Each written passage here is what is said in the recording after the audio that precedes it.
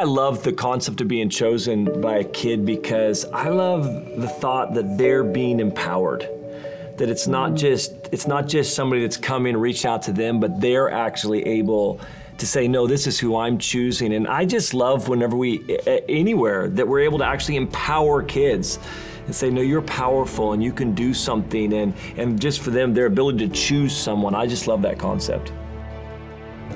You know, I think for me, I think the Bible's really clear that we are put into a family, that God is a father, we have brothers and sisters, and it's actually a family that we're a part of. So I think the whole kingdom concept is I am part of a family. Personally, I have two adopted brothers, so I know what it is to truly bring someone into your family and choose yeah. them. Like, and to me, they're no different than a, a biological sibling. Yeah. But it's it is. I I look at them and think, you know, like my parents had to keep me, but they they met you and chose to keep yeah. you.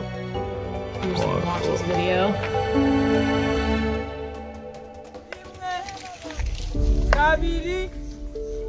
gatatu ku mazi ku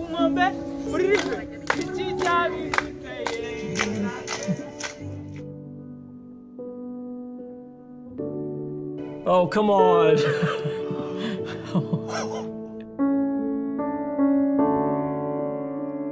oh my gosh.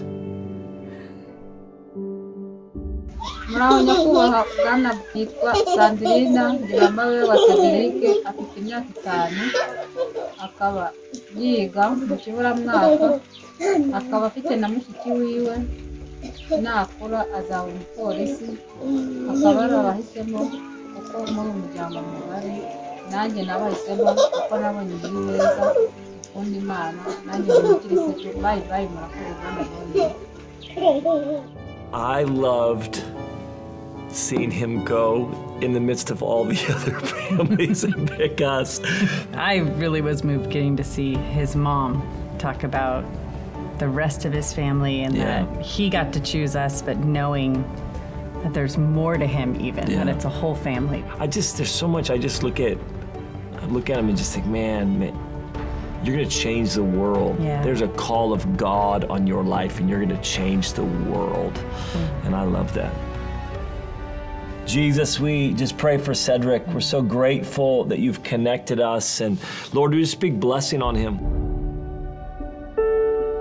God, he's got a call in his life. He's going to change the world. And so, Lord, I just pray for him and his mom and his family, for that whole community.